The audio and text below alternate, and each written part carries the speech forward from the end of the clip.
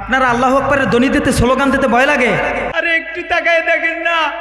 ওই যে আল্লামা মামুনুক সাহেবে যখন কিনে এর ভিতরে উঠায়, আজকের জেলের ভিতরে নিয়ে যায়, উনি বাচ্চাটা বাবার গাড়ির পিছনের ভিতরে দৌড়ে দেয়, দৌড় দিয়ে দেয় আমি আমার বাবারে যদি একটু ধরতে পারতাম, আমার বাবারে যদি একটা চুমা দিতে পারতাম, কি দোষ ছিল তাদের? দোষ ছিল। হক কথাগুলো জাতির সামনে বলতো। এটা যদি দোষ হয়, এই দোষের জন্য কারাগারের মধ্যে নিক্ষেপ করতেছো করো। কিন্তু মালিকের সামনে জবাব দিতে হবে একদিন, সেই দিন, যেই দিন মালিকের সামনে দাঁড়াইয়ে প্রত্যেকটার হিসাব দিতে হবে। ঠিক কেনা বলো মুসলমান? আজ মুসলমানের আল্লাহ আকবরের ধ্বনি বন্ধ করার কারণে মুসলমানদের কাছে চাপতেছে ইহুদি খ্রিস্টানরা ঠিক না বেটি স্টাইজে ওঠার আগে বলছে, হুজুর, গরম কথা বলবেন না। আমি শুই নাই বলছি, আমি জালুকাঠি কোনোদিনও কারও কথা বানানো কথায় কথা বলি না। এই স্টাইজে যখন কথা বলব, কোরআন থেকে কথা বলব, এর জন্য যদি জীবন দিতে হয়, কারাগারে থাকতে হয়, কারাগারে যাইতে রাজি, রক্ত দিতে রাজি, অন্যায়ের প্রতিবাদ করেই ছাড়বো। কারণ মুসলমান কোনোদিনও অন্যায়ের সামনে মাথা নত করতে পারে না।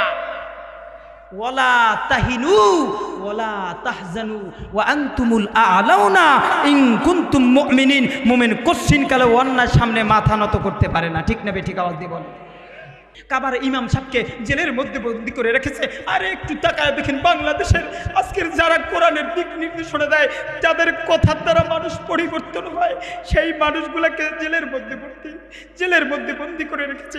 একটু তাকান, এই বাংলাদেশে আল্লামা দেলোর হোসেন সাইদি সাহেব আজকের জেলের মধ্যে পুছে পুছে জীবন বিশ্বাস করতেছে।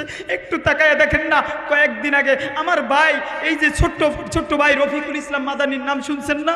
আরে আমার ভাইয়ের কী দোষ ছিল জানেননি? একটা সত্য কথা বলছে, কি আর বলছে? বলছে ও শুনো, আমি দেশের প্রধানমন্ত্রীকে মানি যদি প্রধানমন্ত্রী আল্লাহকে মানে। বলছিল কিনা? খারাপ কি বলছে? ভাই বলছে, রাষ্ট্রপতি মানি যদি রাষ্ট্রপতি আল্লাহরে মানে। এই কথা বলছে দেখা, ভাই এখন ভালো না বাইরে জেলের মধ্যে ঢুকায় আছে। ও, দুনিয়ার মুসলমান মেসেজ দিতে চাই। আল্লামা মামুনুল সাহেবকে জেলের মধ্যে পড়ে আছে। আরে আমির হামজা সাহেবকে জেলের সাহেবকে জেলের মধ্যে পড়ে আছে যারা হক কথাগুলো ওলা মাইকরা হক কথাগুলো জাতির সামনে তুলে ধরেছে, তাদেরকে মুখ বন্ধ করার জন্য আজকের যেই ষড়যন্ত্র মেতে উঠেছে, মনে রাখবা মনে রাখবা মনে রাখবা মনে রাখবা, তোমাদের এই তোমাদের এই মনের বাসনা কশ্চিনকালেও পূরণ হবে না, কারণ আমার মালিক একজনকে না একজনকে দিয়ে দিনের প্রচার করবে, ঠিক কিনাবে ঠিক আওয়াজ দিয়ে বলেন। আবু জাহেলও কোরআনের আলোচনা বন্ধ করে দিতে চাইছিল। না পারে নাই, পারছে একটু আওয়াজ দিয়ে বলেন, তোমরা কোরআনের আওয়াজ বন্ধ করতে পারে নাই, আজও পারবে না। আমি যেই কথা বলতেছিলাম, ও বন্ধু মেসেজ দিতে চেয়েছিলাম, এই আমির হামজার দুইটা মেয়ে আছে, ছোট্ট ছোট্ট মেয়েগুলো, ছোট্ট ছোট্ট মেয়েগুলো, আমি ওই দিনকার এই কথাগুলো বলেছিলাম, একটু তাকায় দেখে, মেয়েগুলো রাত্রে জেগে যায়, জেগে বলে, মা আমার না বাবা কোথায় গেছে? আমার বাবা কি চোর। আমার বাবাকে চুরি করেছিলেন। কেন জেলের মধ্যে পড়ে রেখেছে আমার বাবাকে? বলো না বা বলো না। আমার বাবা কি চোর ছিলেন। এইভাবে কায়দা কায়দা মার সামনে বলতেছে। আপনি একটু চিন্তা করে দেখেন না। ওই সন্তান, ওই নাবালক শিশুর দোষ ছেড়ে ওই নাবালক শিশু তো মনে চায় বাবাকে জড়ায় ধরি না, বাবার কপালে একটা চুপ দেবে। আরে একটু তাকায় দেখেন না। ওই যে আল্লামা মামুনুক সাহেবে যখন কিনে এর ভিতরে উঠায়, আজকের জেলের ভিতরে নিয়ে যায়, উনি বাচ্চাটা বাবার গাড়ির পিছনের ভিতরে দৌড়ে দেয়, দৌড় দিয়ে দেয় আমি আমার বাবারে যদি একটু ধরতে পারতাম, আমার বাবারে যদি একটা চুমা দিতে পারতাম, কি দোষ ছিল তাদের? দোষ ছিল। হক কথাগুলো জাতির সামনে বলতো এটা যদি দোষ হয়, এই দোষের জন্য কারাগারের মধ্যে নিক্ষেপ করতেছো করো। কিন্তু মালিকের সামনে জবাব দিতে হবে একদিন। সেই দিন, যেই দিন মালিকের সামনে দাঁড়াইয়ে প্রত্যেকটার হিসাব দিতে হবে। ঠিক কেনা বলো মুসলমান?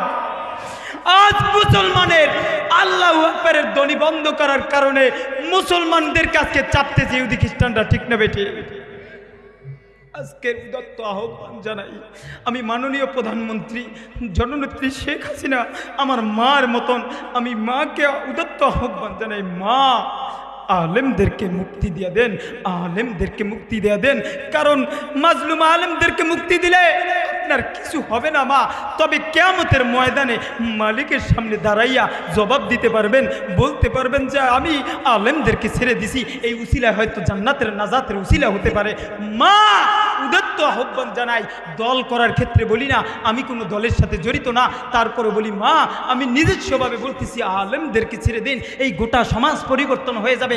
আলেমদেরকে ছেড়ে দিন, এই দেশে দুর্ভিক্ষ আসবে না। আলেমদেরকে ছেড়ে দিন। আপনার বাবার জন্য দোয়া করে যাই আলেমরা। ওই আলেমদেরকে বন্দি করে রাখবেন। এটা কচ্ছিন কালে মুসলমানরা মানতে পারে না পারে না পারে না। আরে মরতে তো হবেই আজ মরি আর কাইল মরি নাকি? এ, যার জন্যই দুনিয়াটা বানাইলেন। আহ, সেই নবীকে জেলখাটার জেলখানার ভিতরে ছিলেন কিনা? সাত মাস। কয় মাস? আহ, যেই নবীর গায়ে একটা মাসি পর্যন্ত বসা হারাম ছিল, ওই নবীকেও জেলের মধ্যে রেখেছে।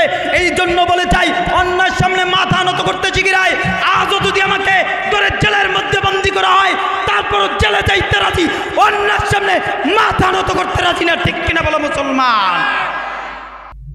আপনারা আল্লাহ আকবরের ধ্বনি দিতে, স্লোগান দিতে ভয় লাগে? আজকের মুসলমান একটা মেসেজ দিতে চাই যখনই নারায় তাকবীরের হুঙ্কার মুসলমান বন্ধ করেছে, তখন এদেশের মুসলমানরা মার খেতে শুরু করেছে।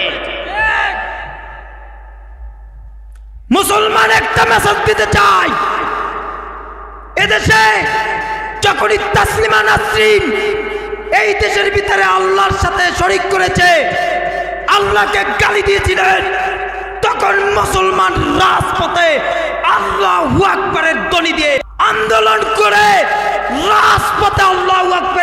দিয়ে যখন নামছিলেন, তখন বাতিল শক্তি বাদ দিতে পারে নাই ঠিক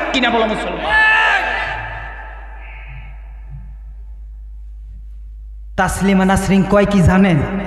কয়, আমার মাইয়ারে বিয়ে দেওয়ার আগে যদি আমার মাইয়ায় কেউ সাথে যৌন কর্ম করতে চায়, আমার বাধা নাই। নাউজুবিল্লাহ বলে এ, আমি বানাইয়া বলছি না, বানাইয়া বলছি না। কয়, আমার মাইয়া যদি বিয়ার আগে যৌন কর্ম করে, আমি মেয়েকে বাধা দিব না। আহ, দেশটার অবস্থা কি? ইহুদির কালচার ঢুকে গেছে। ও মুসলমান, ও পর্দার আড়ালের মা, ও টাঙ্গাইলের মা, ও টাঙ্গাইলের কলেজ ইউনিভার্সিটির বোর্ড।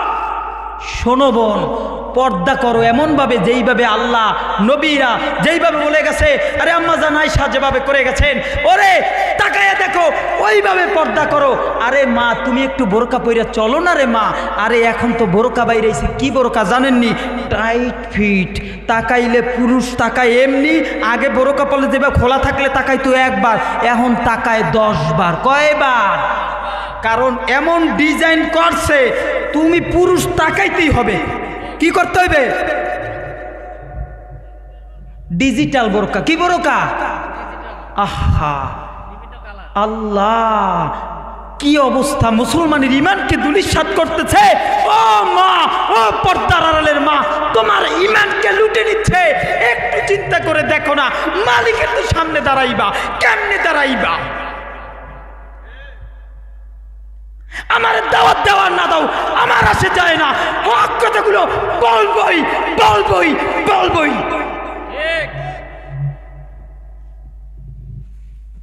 সুরের আলোচনা তো অনেক করি জীবনে, ইউটিউবে অনেক আলোচনা আছে। সুর বাদ দিয়ে এখন কথা বলতে হবে। কারণ জাতিকে বুঝাইতে হবে তো। কচু পাতার পানির মতন টক, টলমল টলমল টলমল টলমল মুসলমানের ইমানে হন আহ। অনেক ইমাম, অনেক মহাদ্দেশ অনেক মুক্তি অনেক মাওলানা। অথচ মাহফিল করে, হের বউ ঠিক মতন পর্দা করে না। আরে আমি আমি এটা বাস্তব বলছি, বাস্তব। আজকের মুসলমানের অবস্থা কেন এরকম হবে? হ্যাঁ মুসলমানের অবস্থা কেন হবে? আমাদের নিজেদের কামাই নিজেদের কামাই।